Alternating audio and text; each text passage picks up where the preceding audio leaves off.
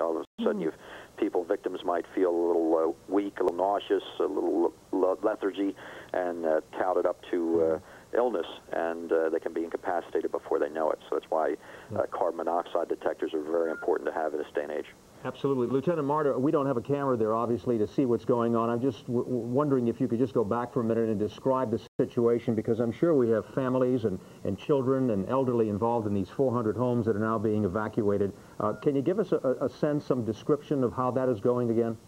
Yes, yes, sir. We have the uh, the fire department working uh, hand in hand with uh, our local police